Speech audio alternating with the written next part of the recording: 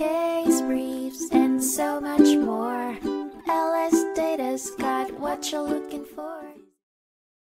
In 1993, the United States Bankruptcy Court for the Eastern District of Virginia heard the case FTL Inc. v. Crestar Bank in Re FTL Inc., which revolved around the issue of whether a court could temporarily stop collectors from taking property of non debtor parties under certain circumstances.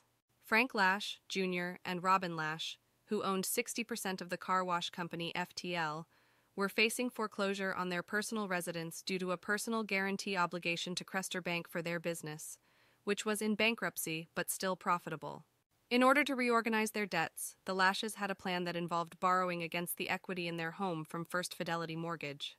They sought a temporary injunction to halt Crestar's foreclosure efforts and give them a chance to reorganize the debtor. Crestar Bank was FTL's primary secured creditor, holding a secured debt of around $785,000, which the Lashes had personally guaranteed.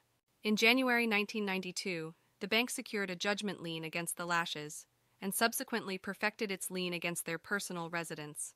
After considering the evidence, the court ruled in favor of the Lashes and granted them a 90 day injunction, temporarily stopping Crestar from foreclosing on their property.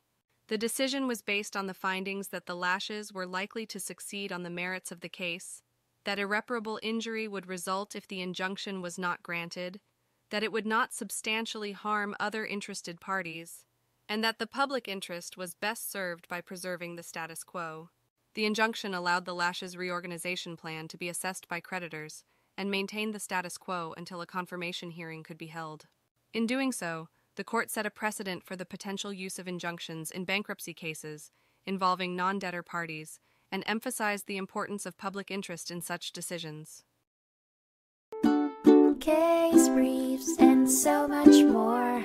LS Data's got what you're looking for. Visit lsd.law, elevate your mind. Leave the stress of class.